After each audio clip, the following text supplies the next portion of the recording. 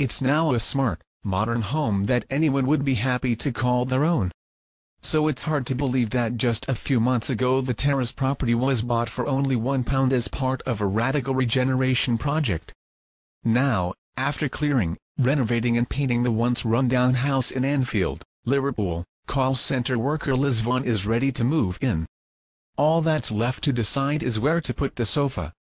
The property is one of 23 that were available to local residents to buy for a pound as part of a scheme to transform one of the most deprived areas of the city. Launched two years ago, the project has also seen 163 substandard properties demolished, and major improvements carried out on 197 others.